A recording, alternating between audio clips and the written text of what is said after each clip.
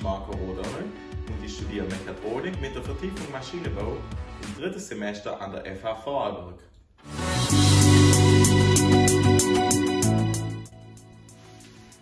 Ich bin Stefanie Baldreich, studiere an der FH Vorarlberg Mechatronik mit Schwerpunkt Maschinenbau. Hallo, ich bin Hanna Torzen und ich studiere Mechatronik mit der Fachrichtung Maschinenbau an der FH Vorarlberg. Hallo, mein Name ist Kilian Strasser. Ich studiere im dritten Semester Mechatronik Vollzeit an der FH Vorarlberg. Da Messungen von runden Teilen, wie zum Beispiel diesem Flansch hier, sehr aufwendig sein können, haben wir von unserem Kunden den Auftrag bekommen, ein Rundlaufprüfgerät zu bauen.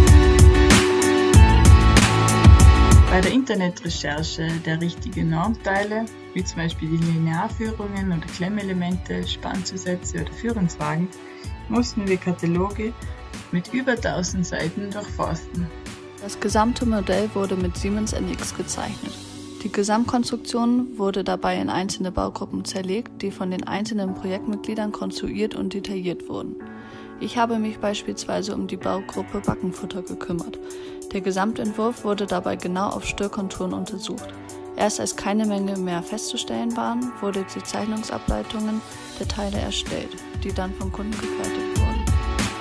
Nach Erhalt aller Fertigungsteile traf sich das Projektteam zur gemeinsamen Montage der einzelnen Baugruppen. Schrauben, Verstiften und Kleben. Die Montage der einzelnen Baugruppen klappte fast reibungslos.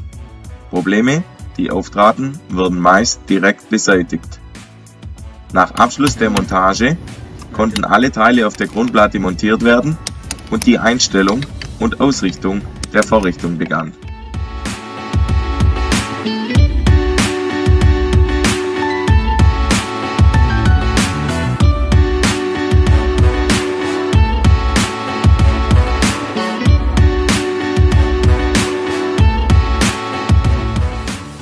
Ausrichtung der Gegenspitze zum Backenfutter konnte mit einer Messuhr und der gegebenen Einstellmaßnahme präzise eingestellt werden. Und was nicht gepasst hat, wurde mit der Flex passend gemacht.